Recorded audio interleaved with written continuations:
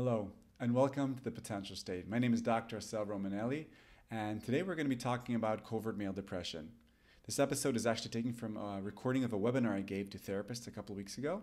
So I apologize for the sound quality, which isn't as sharp as usual, but I really wanted this content out. I think this is super important. The webinar begins with my own personal story dealing with my covert male depression, and it continues on to detail Terry Real's a uh, beautiful and touching conceptualization of men and the covert male depression that they experience.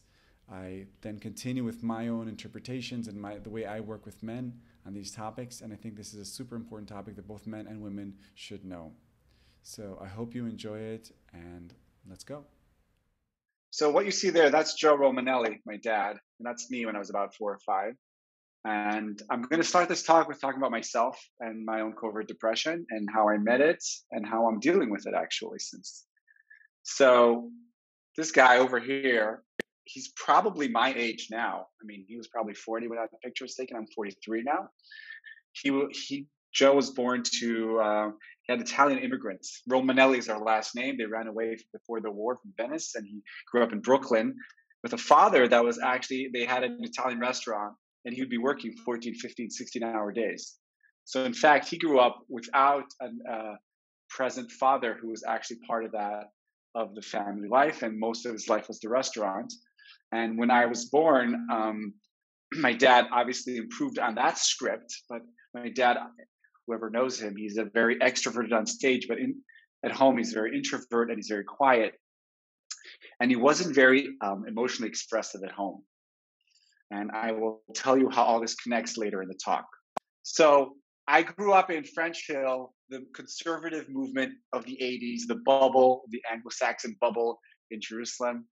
Um, and I grew up more or less as a normal kid in the sense that I, wasn't really excelling in any other any of the fields, but I was always um, very pleasing. I was a pleaser. I was a good kid. I had good grades. Never got into trouble. Never rebelled, and kind of went through life doing all the right things, getting good grades in high school, being an elite unit in the army, doing my undergrad. And then I actually replicated my dad's profession. He was a shaliach for the Jewish agency, and I became a shaliach for the Jewish agency. And on the way, I even replicated my mom's profession, who's a social worker. So I became a social worker as well. And I'm doing all this, and I'm performing, and I'm flying high. Um, I decide to get married. I, I, I have a kid, and then I decide I want to do a PhD and I want to bring my two biggest passions, which is improv and therapy, together. And I spent six years researching it as I'm performing. Another kid's born on the way, and I hit the big four zero, the big 40, and boom, there it is. I get the PhD, and then I have another month in me, and then I collapse. I kind of realize what's the point of all this? I kind of lose interest in teaching what I was researching. Um, my energy dropped, my efficiency dropped, and something weird was happening to me. And I was like, "What's happening right now? Why don't I have the zest and the passion and the and the, and the push?" Because my my idea, my dream was to conquer the world. Now that I finished and I proved in my PhD that improv for therapists works. And I was like, why don't I want to publish this? Why don't I want to write a book? Why am I not teaching this in every single university in Israel? And I start sinking into what I was recognizing as my midlife crisis. Um, on the right, I did what most men do. I signed up for a marathon. By the way, the most, uh, the peak of men doing marathons are 39 and 49. So it's right on the statistic. I run a marathon. Actually, I run two marathons, thinking that's what I needed, and then I realized that wasn't really it either. I was kind of, I was, something in me was just kind of turned off. Um, and that took a couple of months until I happened to stumble on the book that Shalom Atlas was talking about called I Don't Want to Talk About It Overcoming the Secret Legacy of Male Depression. Now, what's interesting about this book is it was on my bookshelf for years. In fact, for the past 20 years, I've only read um, psychotherapy, improv, communication, and that kind of, I've only read that genre. And that book has been on my shelf for years, but something about I just I couldn't I didn't want to reach it. I didn't look at it. Um, and then after that second marathon, I decided, well, you know, I'm just gonna I'm just gonna pick it up and read it. And it really rocked me. It rocked me really hard. At the time, I was already a couple therapist. I was married. I had two kids, but it was the first time that I read anything about this, that I discussed this with anyone. With anyone. I mean, in my mind, I was discussing with Terry Real, and in fact, this was the only book I've ever finished and started rereading it right just immediately. It was so clear to me that what is written in this book, I need to download and get into the muscle. And that book really shifted the way I, I saw myself. It gave me a lot of language to what I was experiencing. And it really, I wouldn't say revolutionized the way I work with men, but it certainly shed a whole different light because I work a lot as a couple therapists. 50% of my clients are men, and I also do individual therapy. So I also see men, and and as family therapy, what I do these days, I do family therapy with adult children. So in fact, um, kids in their 20s and 30s working with their their parents. Um, by the way, open parentheses. A, a, year ago, we left Jerusalem to move to Kfar Saba, and as I was transitioning, I started doing family therapy with Joe Romanelli and my mom and Achinam, and I've been slowly doing family therapy every other week for a year now. So all of this work has become very personal for me, and is spilled over to the way uh, to my professional work. I want to say one more thing about because I know everyone here is, is almost therapists. Um, it took me many years to accept the fact that I am a male therapist, and instead of belittling it or putting it to the side or bracketing it, to actually use that and to put it on the table. And that's part of improv and therapy, right? How do we say the thing? How do we put that on the on the table and use that? Um, so I want to say that my use of the covert male depression as a man is it will be different than a female therapist working with these ideas. And please write down all your questions, and there's going to be ample time to kind of wrestle with this together. So he writes this book. Um, Terrence Real, he was actually here about two years ago with his wife Belinda. He wrote three books. This was the first one, and the other one was called "How Can I Get Through to You," and the third one was "The New Rules for Marriage." So he's basically his his school of couples therapy is called the relational school, uh, relational life school, he has a whole website. He does tons of online courses. But this book is basically sharing his story. He was the son of a of an abusive father, and he combines that with research. In fact, this was the first book ever written about male depression. And it, I see this as a masterpiece. And just like Shalom Atlas said, I have two copies of it in English, two copies of it in Hebrew, and I keep lending it out. I never have them in my in my library because they're always lent to uh, to men to read, actually, sometimes to women as well. So how do we raise our boys? Um, and I, you can see a picture here of Tzach. He's my eldest. He's now nine and a half. This is Tzach on the left side when he was um, about three or four. You can see he's wearing earrings. He's playful. And then two or th- once he started first grade, we just saw this shift into kind of boy boy boy mentality, boy psychology. Doesn't wear pink anymore. Doesn't talk to girls anymore. Doesn't dress up. Doesn't put on earrings. Obviously wants to be a soldier.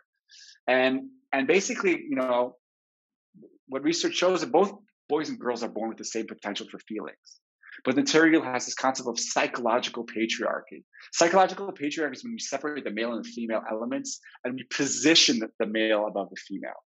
Okay, so the masculine energy, assertive aggressiveness, power, dominance, and feminine of feeling, connection, vulnerability. Split them and we put them like that. And basically, what happens is we're castrating our boys. And we're saying this is good, this is, is this devalued. So assertiveness, be strong, be a giver, be a man, stand up straight, stop crying. Or I hear crying is not efficient. I hear this all the time. Why are you crying? It's not going to help you. Okay? While minimizing the emotional expressivity. And then another big concept that Terry talks about is loss of the relational. The child needs to give up his relationship with his mom, with his sensitive side, with his female friends. Tzach has no playdates anymore with girls.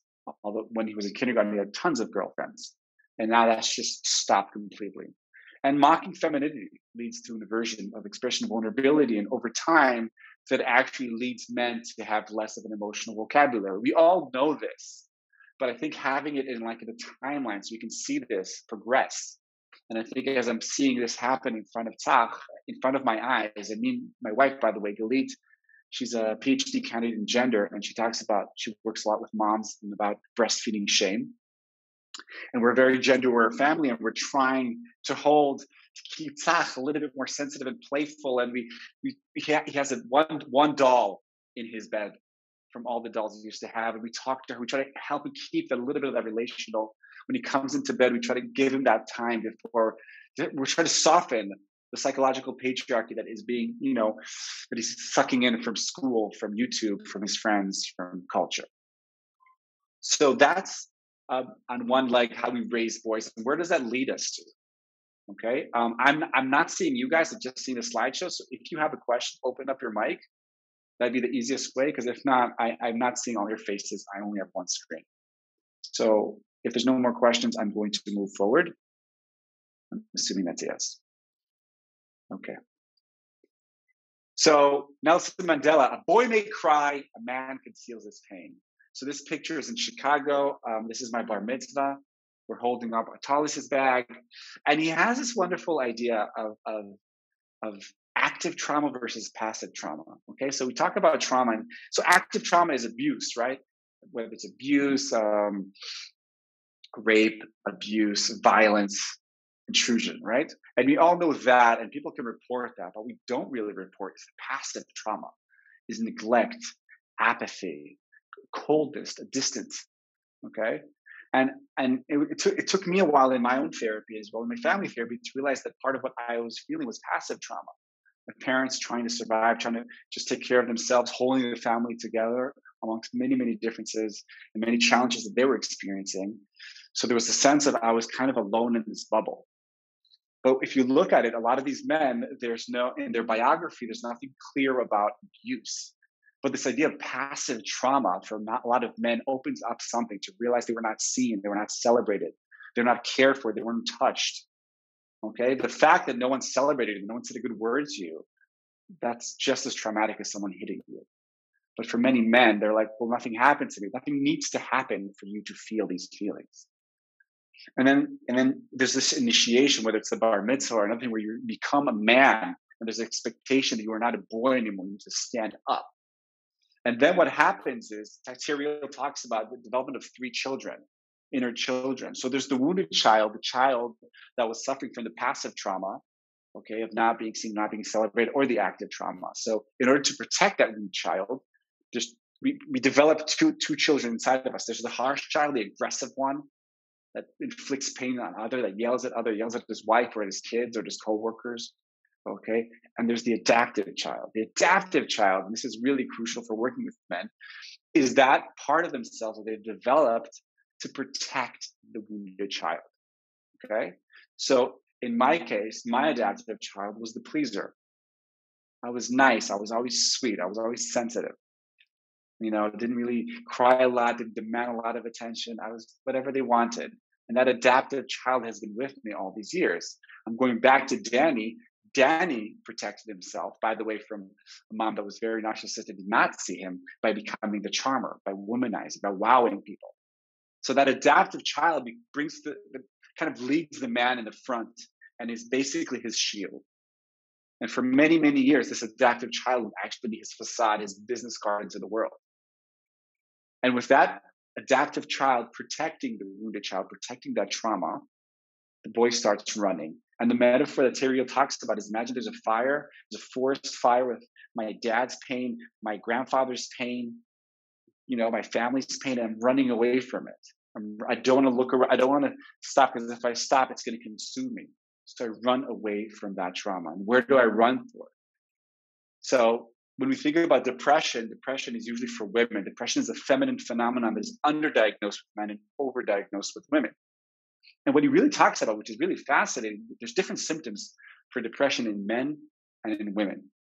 So whether with, with women, we'll see it more as crying and and and and anguish and sleeping a lot and all the more ex, like externalized symptoms. With men, we will actually see it differently. We will see it in some of them will express it in overt depression, whether it's anhedonia, suicidal tendency, excessive crying, despair, sleep disorders, and whatever. But a lot of them will, will develop what's called a covert depression. And let's talk about that. Covert male depression.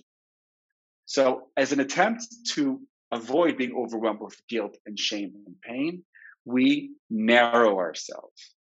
And here's a concept I use all the time with my clients. It's called four to sixers. So imagine the emotional range is from one to 10. One is deep despair and 10 is ecstasy. Okay. Our children, as children, we, we experience the whole range. We can move from one to 10 within two minutes. Look at you, at your children or your grandchildren. They have all the emotional range. But over time, society or psychological patriarchy or whatever you want to call it limits us. And a lot of men, especially when we're in this covert depression, we're a four to sixers, okay, which basically means we don't feel too much to this side and we don't feel too much to that side. We're kind of in the middle. And that you can see through apathy, numbness, concreteness, lack of play, boredom, cynicism. Okay, cynicism, by the way, is a form of play, but it's actually being passive aggressive. I'm you know, playful, but actually I'm angry, I'm frustrated, I'm bored. Um, by the way, I just want to say, open parentheses, I have a YouTube channel that I run with my wife with over 125 videos, each one of them about eight minutes on several of these concepts. So I will be sending a handout summary, but if any of these topics interest you, email me and I will send you the links to the specific videos. Like, for instance, there's a video about cynicism. The joke's mm-hmm. always on you, showing the defense mechanism behind cynicism and how can people step out of that close parentheses. So these four to sixers, this covert depression. So we numb ourselves on one hand and we run through addiction out. Work, money, sex, porn, alcohol, drugs. Actually, the most popular um, addiction, which we underdiagnose when we work with men, is work. Okay, the workaholics, the people that have very high efficiency, very high output, very successful, Okay, but no one's stopping them because they get more, the more they work, the more they succeed, the more they get applause, right? And then the and the traditional gender roles, the more money he his job is to go outside and make money. So he's he can actually spend his whole life at work. And I'm thinking about my grandfather, who basically worked 16 hour days in the restaurant. He came home, he'd fall asleep in front of the TV, wake up, go to work. That was, you know, that was his presence at home. So in that sense, he was always at work. Now, again, it's a different type, socioeconomic levels and such. But if you think about that, for many, many men, our covert depression express ourselves with just diving into work. And if I'm going back to my story, I was literally just working 24 7. I was teaching, I was performing, I was doing therapy, I was researching. I did not stop for a decade. And I think part of what happened to me when I hit the covert, when I actually hit the overt depression, which we'll talk about in a second, it all stopped. I couldn't do it anymore. I didn't want to do it anymore. But being efficient all these years and having very high, a very high output, it was misleading because people thought, oh my God, he's so successful. He's so happy because he's doing certain things. But looking back, I realized I was actually running away from feeling my own pain or and feeling my dad's pain, my, my grandfather's pain and that was kind of a run. And then the last thing I want to say, and then I do want to pause for questions because I think this is important. I want you guys to kind of wrestle with this a little bit. He talks about this can go in two different ways: the grandiosity, uh, to be like full of themselves and just steamrolling other people, or dissociation, just completely numbing themselves down. And I wrote "Faulty Father" um, because I see this all the time. There's a Facebook group called Abba Pagum, Faulty Father. They have a sticker it's a bumper sticker. And there's a quarter of a million men there. And the common denominator of that group is how they're faulty fathers, right? They, they, like a joke could be like, I dropped my daughter off at the, at the wrong kindergarten. He, he, he, he, he. All right. So they're celebrating their numbness and their kind of lack of connection with their own children. And then the way they call their wives in every post is the righteous one, Hatzodeket. Okay. So there's this, this split. There's the righteous woman who's right, parentheses, and bitter. And there's the faulty father who's happy, but has like, eh, we say in Hebrew, en en no brain, no worries. It's become almost, almost like a status symbol. Like I see this all the time in the clinic, right? The father that doesn't remember anything about anything connected to the home, and the mom who, who just wants more intimacy and just wants more connection, and why you're not home earlier. And this, unfortunately, has become almost like a, a stigma, a baseline, a stereotype of what's happening in a lot of um, heterosexual relationships in Israel and the world. And in fact, when I come in with these ideas, a lot of men and women will be like, what's the problem? That's just normal because that's all they see around themselves. So I want to pause here for a second, questions, pushback, clarifications before I kind of move forward.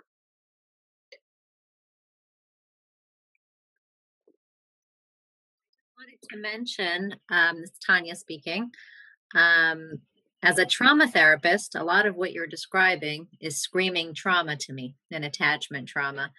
Um, so I just wanted to to note that. Thank you. And I think I think what's what's interesting about that is that most men will not come because of this. They're coming because their wife is angry at them because whatever they had an affair or she had an affair. Very few of them will come and say, "Hi, you know, I'm feeling this emptiness inside of me. I feel like I'm running away from my own pain. Can you help me with that?" I mean, about zero percent of men come to me for that.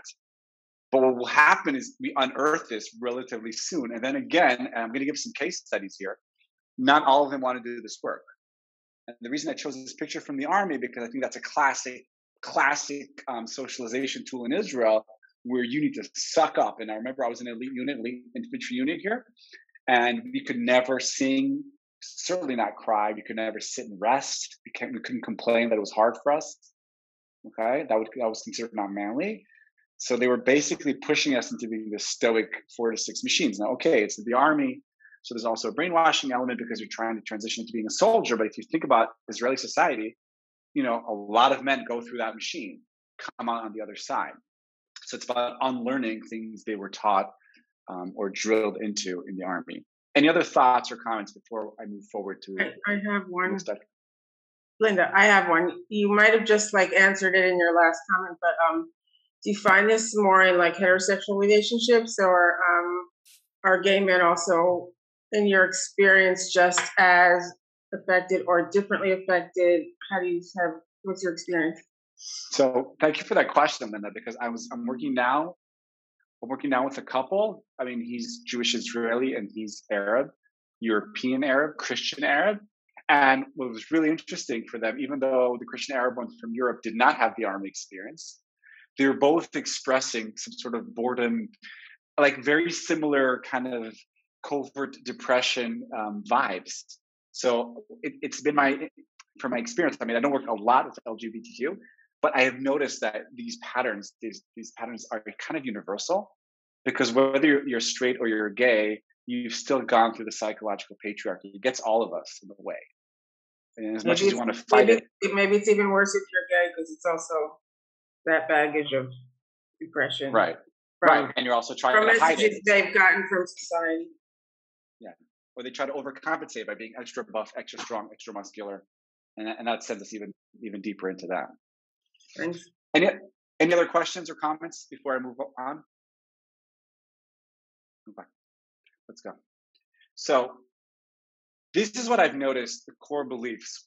Core beliefs, as we, I'm just to if I'm saying a concept that is not familiar, for you, please let me know. If not, I'm assuming we all more or less work with core beliefs. Core belief is a is such a core belief that I cannot disprove it, or it's a scheme. I mean, something called schema scheme, scheme, right? So the core belief, the, the tricky thing about it is you cannot disprove them. And he who holds a hammer, the whole world is a nail. So there's core beliefs, and you know we work with in NLP and in coaching and in CBT and a lot of different modalities. But these are the core beliefs that I've noticed that I, I see that are kind of giving me the hints that I'm working with someone who's kind of in this covert depression state. I call the combination of this either's because it's an either or. I call it either's like Igor, like like this monster that kind of chows down and kind of limits this the man's mental state, psychological state, and obviously his relationship. So it's a combination of the psychological patriarchy and covert depression lead to several of these dichotomous core beliefs. And by the way, um, I have you can't see this, but I have a whiteboard in my clinic, and oftentimes I will write these core beliefs on the board as they're saying it, just to show them and their partner, obviously, what's kind of what's the operating system they're working with. So the first one I see all the time is feelings are not useful, or they're feminine, or they're dangerous, or they're a burden. I see this all the time. Feelings are a burden. I don't want to burden my wife. I don't want to burden my kids. Why? Because there's this core belief that your pain equals my responsibility or my fault or my job. So every time somebody shares with them the pain, they have to do something about it. Deborah Tannen calls this report talk. So, so any pain is something I need to do with, and I need to do with so that why over time I don't want to share my pain because I don't want to burden you. You worked so hard with the kids all day. Well, I'm going to share with you. I had a shitty day at work. No, I don't want to burden you. But that what happens is they don't share it because they don't want to seem like pathetic or needy or clingy or don't want to burden because their job is to suck it up. I had a man here just the other day, a Chabad Orthodox man, saying, I have a tooth pain for the past half a year. I didn't want to tell my wife, I don't want to burden her. So if he's not talking about his toothache for a half a year, he's certainly not going to talk about other feelings he's feeling. Okay. And obviously, there's either you're a winner or a loser. Losers don't cry. You know, I mean, losers are are whine. Don't I don't want to whine. I want to be a winner. And then there's also this: it's either your pain or my pain. Like I don't want to. I don't want to overshadow your pain. If I start your pain, that not sensitive to you. And then they they're left with what's called either the their bunker or they explode. And limiting this emotional range leaves us with basically two avenues for men either aggressiveness and sexuality. Those are the only two places where we can break out of the four to six. That's what's left when we are cast after all the psychological castration. So what we're seeing is we're either seeing the apathetic, faulty father who's basically numbing and blinding himself, you know, taking in, blinding himself to his wife's contempt and boredom and anger, you know, stores it all in until he explodes. And oftentimes, another thing you can see a covert depression will be the man.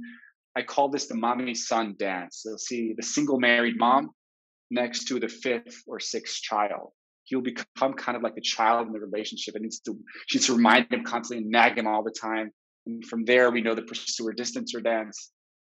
And oftentimes, and I'll talk to these men, and they'll be like, "Whatever, I don't care. Doesn't touch me. She can say whatever she wants." Da, da, da, da. He, he basically blinds himself because he doesn't want to see this. Because if he will open his eyes, the two things he will immediately see is one is his wife's contempt and pain beyond her nagging, and he will have to meet his own pain, which he does not want to meet. He doesn't even know he has, and he's scared of even approaching that. Okay, any questions? Yes, no? Okay, I'm going to keep going. So, how do you treat covert depression? I think that's the question, and and uh, you start obviously with connecting to oneself. And one of the best quotes I like from him, he said, Terry Real says, the only cure for covert depression is overt depression. You cannot run away from this. You have to stop running, turn around to the flames, and let it consume you. And the three stages that he talks about is sobriety. I'm going to dive into each one of these relational maturity and then trauma release. Now, you know, he has his own method. Um, I, am not a Terry Real therapist. I'm inspired by him, but I'm going to give you a little bit of how I understand those three phases. So, sobriety, as I said, the cure for covert depression is overt depression. I'm choosing this picture from when I was a shaliach in London. I used to fly, you know, with EasyJet all over Europe, and I was flying high. And I was really, I was just literally working 18 hour days, performing at night, not really having any time alone. I was single, I was lonely, I was probably depressed, but I was way too busy milking the European experience. So the first thing you need to do is help the men stop running, to stop addictive behaviors. Um, for instance, one man, he smokes pot every night and he masturbates twice a day. So the first thing we need to talk about is he needs to cut down both of those behaviors. And why is he doing that? Because he's numbing himself, because he doesn't want to meet himself, because he doesn't want to meet his wife. So the first days is to show this and help them stop that. And the, the, example I always give them, I tell them, allow yourself to collapse. It is a collapse. It is not fun. It is not a joyful experience. That is exactly what happened to me after the PhD. I just dropped. And I think for me, I didn't know how to even understand what was happening for me because I was I was flying high for so many years. I was working so hard in so many jobs. And I thought something was wrong with me. Like, why don't I have the energy? So the first step for men is to try to help them stop. I'm going back to Danny, the serial adulterer, and he did not want to stop. He was not ready for that. I explained these concepts to him. I was trying to show him, and he he wouldn't have any of it. And by the way, he left. And then a couple of months later, he sent me a line. He said, "I'm still with that other woman, but I'm doing good work." So he's not willing to let go of that addiction. He's not willing to stop running. And I think what I've noticed is, and because I am a man and kind of went through some of this, is that I can share from my personal experience. Sometimes that works, sometimes it doesn't. But what I've noticed is by speaking to men about a similar experience that happened to me, I feel like it kind of normalizes that, especially if the men are very successful. I think what, what's harder for the covert, it's harder to work with a covertly depressed man who's highly successful at work because his environment is actually applauding him. And no one in his society and environment is saying, stop, slow down. You know, don't don't uh, don't take that extra gig, don't take that extra job. And I just uh, anecdote I always say when I wanted to do a PhD. Um, so my wife Galit said, "I love it, but I don't want to drop in the quality of our life." Her message was basically, "Sababa, do it, but I want to keep the same income." Now she didn't say it from a mean place, but that is psychological patriarchy, right? You can do whatever you want on the side, but keep providing, keep being that steady provider. Okay. And that message, that double bind that a lot of men are experiencing, that's part of our challenge. The second phase is relational maturity. And this picture, actually, um, our daughter Lila took. I was fighting with Galit. We had a big fight. And that was our way of trying to um, connect and to make up. We didn't even know that she took that picture, but that's that's as real as I can get to a moment of relational maturity. Basically, what it is is to teach them the skills teach men the skills of how to be in relationships, how to be relational. So it's obviously a muscle that they need to practice, help them step down from grandiose or come up from shame, feel comfortable through verbalizing feelings instead of acting them out. This is really important because oftentimes men don't even know what they're feeling. So I had a period where I had that smiley chart and I'd say to him, What are you feeling right now? But what I do these days more often, I will just do a double. I will say, Are you feeling angry or are you feeling sad right now? It feels like you're actually feeling frustrated. And by helping them say the thing, and improv, you say, say the thing, say what's happening right now, saying the feelings. But the first thing we need to soften is that core belief that feelings are a burden. So we have to soften them from thinking that if they say that they're upset, their wife is going to be working overtime to please them. In fact, we're helping the couple cut that umbilical cord so each one can share their feelings. But the second phase is to help them share what they are actually feeling. And I think that is a lesson I'm learning because I did it wasn't really modeled to me. And I, I'm trying to consciously share with my kids what is happening with me, whether it's good or bad. I want to give two quick examples. So we moved to Kfar Saba. We actually just moved to this apartment and it's, it's a disaster. I mean, we're in a construction zone. It's not done yet. And the last two weeks ago, it was a brutal week and I had nothing else to give. I was exhausted and angry and frustrated. I just remember coming to Tzach at bedtime and saying, Tzach, I have nothing to give right now. I am exhausted. I'm feeling helpless.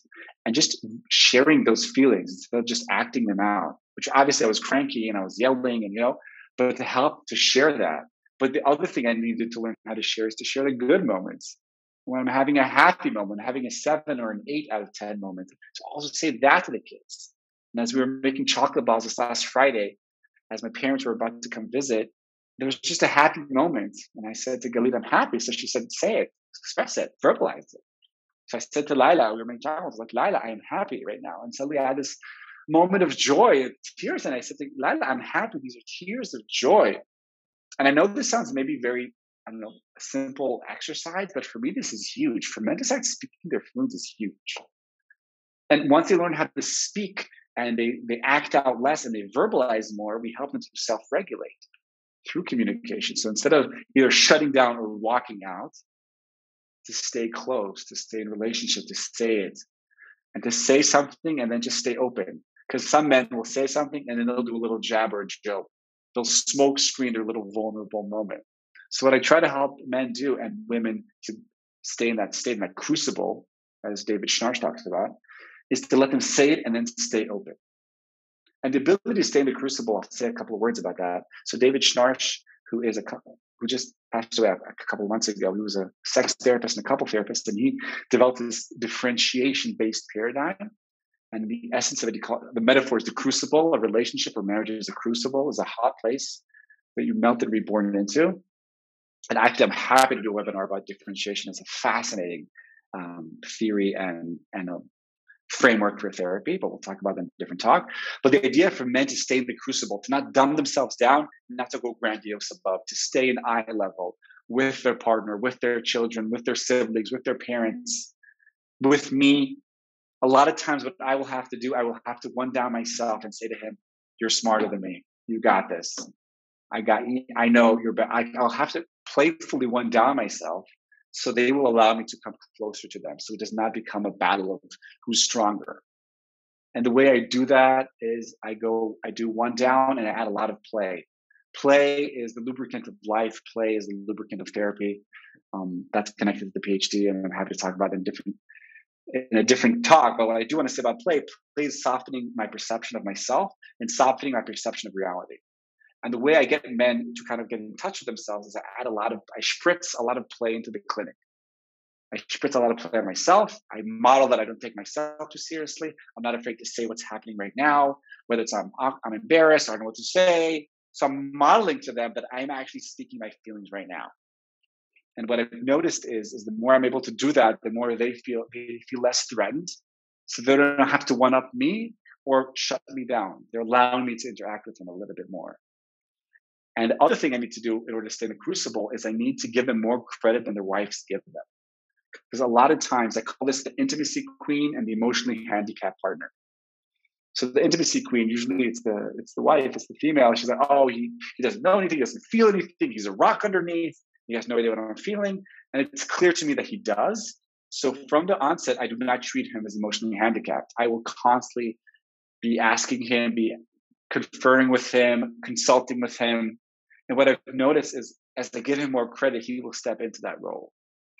He will slowly step out of the emotionally handicapped role into a man that has more feelings, who's aware of things. Uh, by the way, the wife doesn't always like that process. In fact, some women will stop therapy the second their man actually wakes up and steps out of the 46 because then the bar is raised and, and it requires her to be more in intimacy. And that connects to owning your shit. Own your shit is a concept that is one of the pillars of my approach, which is basically owning your shadow parts. So the concept of the Jungian shadow, all those traits and parts that I don't like in myself that I either repress or I deny or I project onto others. So it can be anything from my aggressive, my aggressiveness, my horniness, my my jealousy, but it comes from my vulnerability, my neediness. So a lot of this is helping men see their shadow, owning it, bring it to the front, because as we know, the shadow is where we have our superpowers. So I try to work with every partner and help them block their exits and help them own their shit by bringing them, being playful there, by owning my shit, and then helping them bring that forward. And then once they have their shadows and they can play with this and they can joke a little bit about their covert depression, joke about their defense mechanism, joke about the fact that they're four to sixers, joke about their them blinding themselves, right? Because it's not like this; it's more of a playful thing. Then what they can slowly stay longer and longer in this crucible, and more and more sides of them are going to come out. And the last one is trauma release, is working with the wounded, adaptive, and harsh child. Um, so Terry, real, I mean, different modalities different places. It could be psychodrama, it could be EFT, it can be NLP, it can be any, you know, psychoanalytic work, psychotherapy work. But basically, he does a lot of um, empty chair with the adaptive child. So actually externalizing it and then communicating with it. He does um, ceremonies where you write a letter of thank you to the adaptive child. It's been my experience since I come more from the world of improv and psychodrama, so I will do a lot of, of empty chair work. But I'll show an example where we did some writing as well. But it, it's basically kind of zooming out and seeing the intergenerational link. Um, and for a lot of men, talking about their fathers is not simple. What I have noticed, though, is ever since I have done, I've been doing family therapy with my parents, I have been more successful in convincing my clients to bring in their parents, right? Because as you know, we are the weakest link of our therapy. So I've noticed that by sharing my what I'm doing in my process, I've actually managed to tempt men and women, but we're talking today about men to kind of go back to their fathers, talk about talk to their fathers. And I've been very privileged to do um, father-son sessions um, online and in person, even though they weren't very long, but they were always very powerful, especially as the son is reflecting on his role as a father and what is being passed down or not passed down to his children. And there's this release from emotional and psychological intergenerational scripts. That's another concept, which there's a video on, which is basically the scripts we inherit from our parents that are being passed down from generation to generation. I'm either acting them out or I'm doing a corrective script. I'm trying to do the opposite. So in both of those cases, I'm basically enacting a drama that's older than me. So what I'm actually trying to say is part of seeing that, owning it, and then we can move away from either correcting it, which means doing the opposite, but which leads to the same results, or replicating it to go to an improvised script, to go do something different. But in order for people to do something different, they first need to realize there is a script, and then to realize that their adaptive child isn't protecting them from this pain. And they need to externalize the adaptive child and let the child calm down a little bit so the functioning adult can come. It's releasing the boy and, and finding the man again. And we can talk about that in, in different aspects. And strengthening the internal functioning adult to not react, react less and less as a boy or as the harsh child, as the aggressive or the cynical or the emotionally handicapped, and find a more functioning, more full, more rich, more connected, more present functioning. Trauma release. Anybody want to ask something about that? Okay. Well, I just want to say one thing about that. I have noticed that for me, stage three and two are connected. Like the trauma release will be connected to a relational maturity. Because a lot of what I like to do, the privilege of doing couples therapy, when you're, okay, I'll just say this in differentiation based couples therapy, the analysis is systemic, but the intervention is individual. So, in fact, I will do individual work with the man in the presence of his wife Okay, so we're also getting this feedback, but she's also witness to his process. So some of the trauma release is actually relational work. Because what is relational maturity? What is intimacy? It's into me see, letting someone see into myself. So by him doing this work next to her, he's also experiencing how it is to be vulnerable, how it is to show different sides of himself to her, perhaps for the first time. Just the other day, by the way, I was working with, a Haredi couple. The wife didn't even know what the, the husband was was doing she didn't even know what his job was. That's how that's how like disconnected and apropos not to, I have a toothache for half the year. That's how far they were. But of course she's not going to be interested because when you're a four to sixer, you're not interesting. So of course the wife isn't fascinated, interesting, and curious about him. He's not. No one's curious about. Him. In fact, a lot of times these covert depressed men are just not relevant in the in the family. I remember one father telling me, "I asked for milk. No one ever buys the milk I like. Why? Because you're not relevant. Why? Because you're a four to six or why? Like so they actually they're feeling the, the the, the taxes for this but oftentimes they're so used to it they don't know anything else they can't even imagine a different reality. Yes somebody raised their hand and i want to address that. Yes it's hannah valeria. Thank you. Yes. um I there were two things I want to want to comment. Second, a question.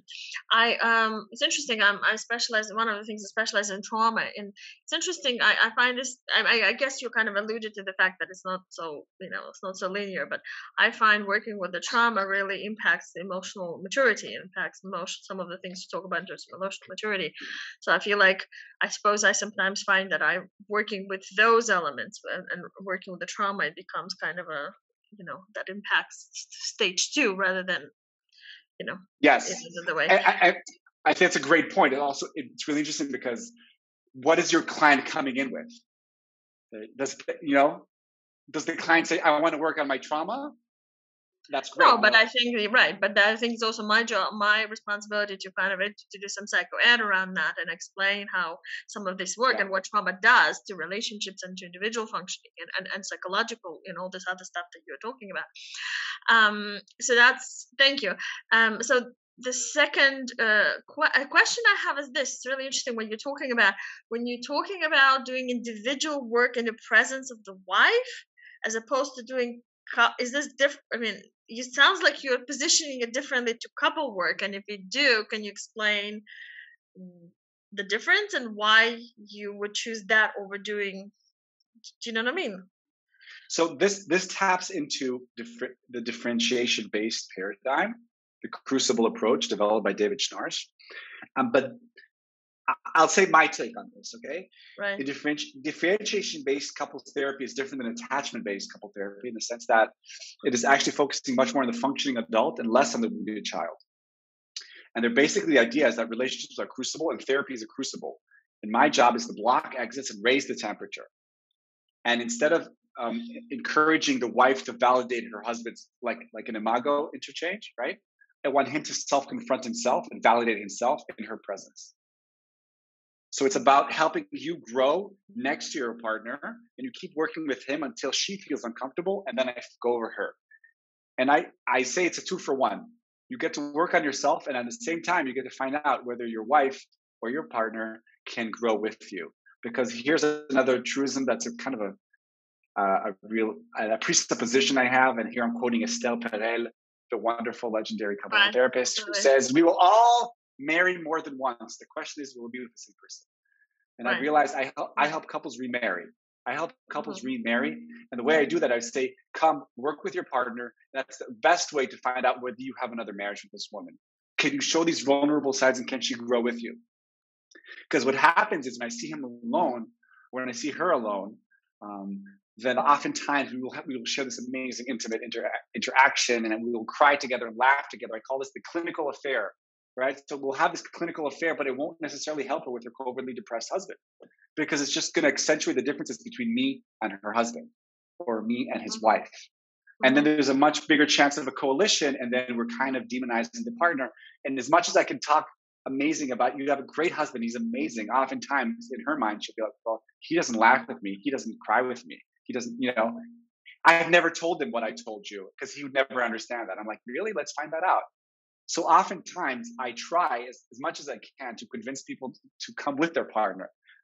But it's it's actually really challenging because a lot of people don't want to do this work next to their partner. Right, um, that's interesting. I mean, I would say some of the goals in terms of what I work with, when I work with couples, I would agree, similar to what you're saying um, I suppose I frame it much more as a couple therapy, or sometimes I work with people individually to bring them together into the couple. But I guess it's yeah. more of a traditional kind of relational approach, um, uh, and you know, with all kinds of things going on there, not only validation, of course, but yeah. Okay, that's very interesting. Thank you very much. I, it's a, it's a different kind of frame around it. I want to say, um, and this is important. It took me many years to find what works for me. Um, being a male in a in the psychotherapy profession, I've been an extroverted man who takes up a lot of space, who's blunt, who's not very introverted, who who just speaks, blurts thing out. It took me many, many years to try to be someone I'm not. Apropos what Shalom talked about, about me being vulnerable. And I think finding this specific approach was what fit me, fit the way I work, fit the way I am, fit the way I want to be. Mm-hmm. Um, mm-hmm. So I'm, I'm not saying everyone should work like this. Like this is what works for me. Oh, sure. With my yeah, yeah, yeah. Okay. I just wanted to Any understand what was your thinking around it. It's very helpful. Yeah, yeah. Thank you very much for clarifying. Sure. Anybody else want to ask something before we move on? All right. So we have sobriety, relational maturity, trauma release. Let's keep going. Relational heroism, which is another concept um, Terry talks about. So it's the man who's willing to step into the crucible, to face to face. It's feeling the dichotomy between the masculine and the feminine. When every cell in your body wants to go to the old pattern and you just persevere through it. And I want to give an example on myself. Um, when Galit used to say things about me that were critical, I used to either lash out, shut down, block it. And I have learned through blood, sweat, and tears, she'll actually give me a heads up. She's going to say, I'm going to say something that's going to be critical. And I literally sit down, put my hands either on the bed or on the chair, and I breathe. And I feel this this pull that I wants to go to the old patterns and have to rewire my brain to sit there and let that burn. And I have in my clinic, I'll show you guys. Can anybody guess what this is? Let's see this. Yes. Anybody want to guess what this is? Okay. You guys are very interactive. Wasabi, this is I, wasabi. Uh, is that wasabi peas. balls? Wasabi yeah. peas, exactly. Wasabi why do I have wasabi peas in my clinic? Because I want them to feel it burn. So when the wife says something harsh, they can just eat it and let it burn through their chest. They can feel it. I'm like, yeah, that's how it feels. We call that letting it land in improv, letting it land inside. Ah, and the relational here is the man that wants to be a better father than their father, that want to cut the chain of abuse that they've inherited or neglects or four to six. And these are these are men that are willing to serve others, step out of their own narcissism and be of service to other people. Those are relational heroes. And I think uh, I chose this picture of me with the kids and my brother-in-law's wedding because there was just a moment there, a rare moment for me of just peace and happiness, and I just felt good. I just felt like I'm with my kids. I'm not just working all the time, and I think that is for me a struggle. It's not a thing you achieve; it's a thing I aim. And part of keeping myself accountable is doing talks like this and sharing my own shadow and my own shit, and how I'm trying to stay a hero so I can model to both my son and my daughter a different type of uh, masculinity. Again, I use the whiteboard in every single session. So complete the following statements. You can also just do this verbally. So feelings are, I'll just ask them that. Feelings are, and if we had more time, I would just ask you to write. Well, you're all therapists, so I mean, it'll be. But lay people, when you ask them, feelings are a lot of times men. If you if you if you're playful enough, they'll give you the it's a burden, or your pain is or my, my wife's pain. When she speaks out, what happens to you? What are you thinking? Yeah, I need to fix it. Okay. Or crying is, and you'll notice completing the statements is basically a prompt to flesh out the core belief. And then I write it on the board, and then it's there. And then what I've noticed, and I also share this, is also there's a video also on core beliefs, by the way. Um, you will marry somebody with similar or complementary core beliefs. So if you have a core belief, let's say the core belief I see all the time, your pain is my responsibility because that's the symbiotic fantasy. That's what we read in books and we see in Hollywood movies, right? If I have that core belief, I will marry someone who has a similar core belief, or else it'll never work out. Because I'm reminding you in systemic therapy, uh, relationship is a pattern. I can only build a pattern with somebody who sees the world in a complementary or similar way. So when I write your your your your pain is my responsibility, I'm actually talking to both of them. And once we see that, we can start talking about that. We can start being playful about that. Where did you learn that? Is that true? Are there, what's the tax you pay for that? We're slowly externalizing that core belief. And what I've noticed, another thing we do in couples therapy, we, I, I, try to always balance the field. The first thing I need to balance is that she's not the intimacy queen and he's not emotionally handicapped. Because the second we balance that out, we can start working. Because as long as she thinks that she's superior to him or he's superior to her, it's gonna be very hard to move and it gets worse when you're working with a female therapist and her partner which i'm getting more and more rec- recently and it's it's it's tough because in her mind she knows. She knows him better than he knows himself and he's happy to cooperate with that because his secondary gains is that he doesn't have to deal with it.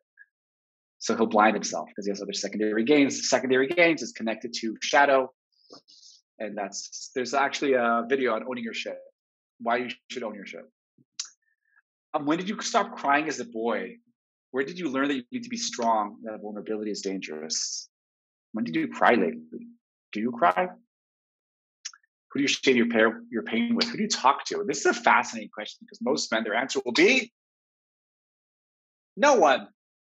And if they do share, they'll either share it with their wife, but then what happens? Is what happens when my wife is upset with me, or when she's bitter at me, or when she has full of contempt? I have no one to talk to.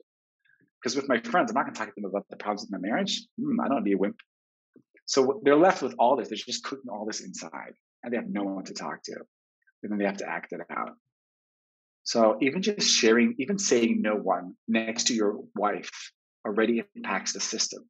Because you're like, oh wow, he has pain. Because the biggest tax the four to sixers pay is that their pain is not considered serious. Oh, it's hard for you to work.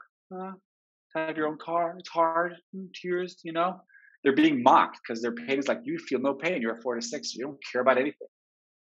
You know, look at your shirt. You don't even know what you're trying. You know, their their pain is mocked, so no one's even listening to them. But they're they're they're so they internalize that so much. They're already used to it. So there's no point sharing my pain. Or this Haredi couple, he's like, every time I share my pain, my wife victims me, and it goes about it becomes her about her pain. I call that the victim competition. That's another video you can check out.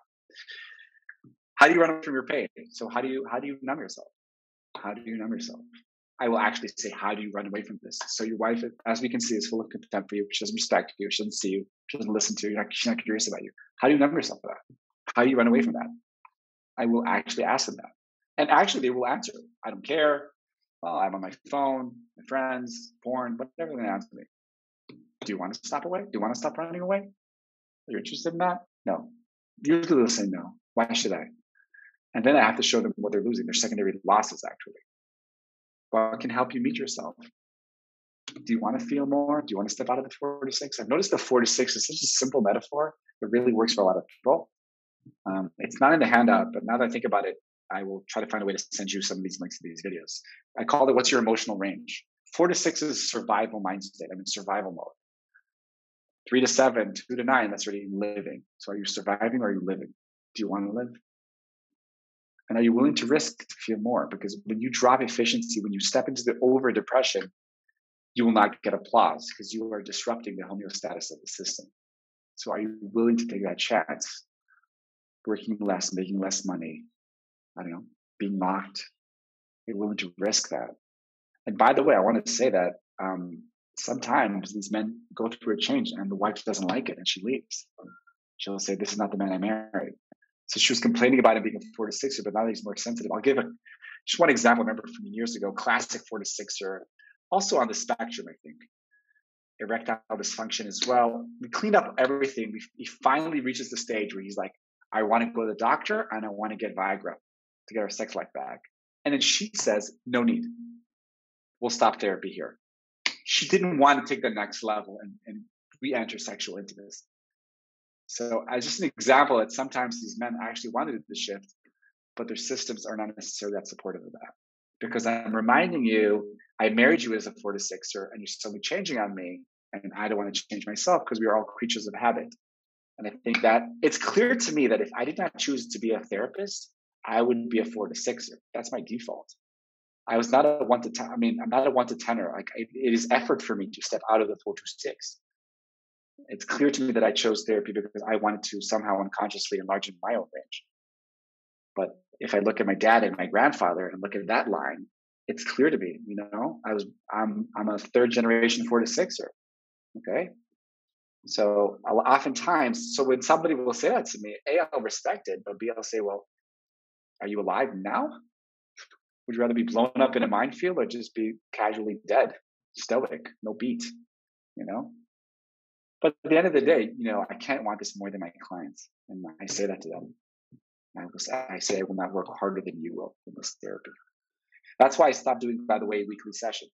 Clients decide when they're coming in next because I want them to take ownership of the process. Well, that's a different time. All right, one more slide. Other interventions, and this is a great quote by Terry Real boys don't need their father's balls, they need their hearts. And I remind myself in those moments that I realize my son is not scared of me. I see that for some reason as a sign of weakness, but then I'm like, I don't want my son to be scared of me. I want him to know my heart. That's on good days. On bad days, I berate myself for not for not having enough authority. But that's a different talk. So here's other interventions. Um, feel free. Try to widen your emotional range, both of the positive and negative, whether it's chocolate balls making with your daughter or whether it's when you're exhausted sharing that. Express your feelings, write, move, sing, yell, talk, sing. I, I suddenly realized I've sing twice, and I realized my dad, who formed the first barbershop quartet in the Middle East, always said, if you're too busy to sing, you're too busy. And perhaps now that I'm broadcasting live and this is a stream of consciousness, I realize that when my dad sings, his range doubles. So if at home he's more of an introvert, a four to six year on stage, you will see him cry and laugh and be on a high. And I think that maybe perhaps that's why I wrote Sing Twice. And that's why when my friends would come over, they were always surprised because at home he's such a, he's so much narrower. Like it's clear to me, like Galit always says to me, my wife, I wish I was one of your clients because I hear you through the door laughing and crying, and there's such more of a range than at home. So try to express your feeling more. Celebrate personal milestones and rituals. Bring back some play into your life. I'm happy to do a workshop just about play because it's so important. Bringing back playfulness. That's the first thing I need to do with these men. I need to flirt with them. I need to joke with them. I need to go a little bit rude with them, a little bit blunt with them, just to, just to celebrate these little things. Like the happy dance. Do a happy dance. I don't know. Um, join the men's circle, join group, join therapy, hear yourself and other men and know that you are not alone. I think a lot of this, the power that I, what I've learned to hardest my, being a male myself is I just tell them these stories about myself and about other men. And like, ah, it's not just me because we are losing the, the tribe. I mean, um, in Iron John, Robert Bly talks about we've lost the, the initiation of older men. Older men are not initiating younger men. So there's no wisdom being passed down. There's no collective wisdom of men. And it's really finding this new wave of, of, of men. So find those people. Touch and talk to your partner. Touch. For so many men, nobody touches them and they don't touch anyone unless you're having sex. And there's just just touching them. And oftentimes when I'll do a double with a man, I will put my hand on his shoulders and I will hold him you know, grab his shoulders, just, to touch him a little bit, just to shake him up a little bit. And so, and I will obviously ask permission, right? And I'll just notice through my hand, like, ah, no one's touching these men. No one's touching them. Touch your partner, talk to them, date night, workshops, couples therapy. Hug and prioritize your kids. Tell them about your childhood. Tell them about your fears. Tell them about your difficulties. Tell them how you persevered or not. I think this is super important. So many men are like, why should I tell my kids about my fears? Why? Because you want to normalize that, because you want to let them know that it's okay to talk about their fears. So they don't go to four to six, so they can stay a bit wider. So they can recognize when you're upset. So they know when I have nothing to give he knows that I can own it. He knows that's okay. And also about your your your your your fears and also your good moments. Share that as well. I'm so happy. I'm so happy right now making these chocolate balls I'm so happy that Saba and Safta are coming over. I'm so happy. If your father or your parents are alive, communicate verbally, vulnerably, curious, curiously with them. I always try to convince my clients, if not to do a session with me with their parents, go talk to your parents, go do open up some of that stuff. Because once they die, it's locked in, and, and these intergenerational scripts are much harder to change. And I remind them the fact going to do work with your parents is not in order to change them, it's in order to change yourself. By going back to the factory where you were made, confronting certain core beliefs, asking them about that. And I can just um, attest from my personal experience working with my parents for over a year now. It hasn't revolutionized and changed who I was, but so many patterns I've noticed. I've learned so much about myself. It's really impacted my, my, my parenting and and it's really changed my relationship with them allowing a much wider range with both of them. With me with both of them and with them with me. And maybe them with themselves. And obviously read i don't want to talk about it by terrence real and his other books because i think it's great. And i'm going to pause here and ask for questions comments thoughts. I'll just say, so we had this tradition. I just want to say one thing. You'll see, so my dad and we started with the picture of my dad and me, and then Tzach, and then that's Lila in the front. And we kind of the thing I like about this picture, it's up, it's about masculinity, but it's we're bringing in Lila into this. We're, we're softening this. We're bringing this intergenerational thing. We're adding some play, and you just see her face, and I think it's charming. Yeah, questions. So I hope you enjoyed this as much as I did. I will leave links in the description where you can purchase the book. I highly recommend reading that book. And I wish all of us to feel free to feel the whole emotional range and to step out of our covert depression into life. My name is Dr. Assael Romanelli, and this is The Potential State. I'll see you next time.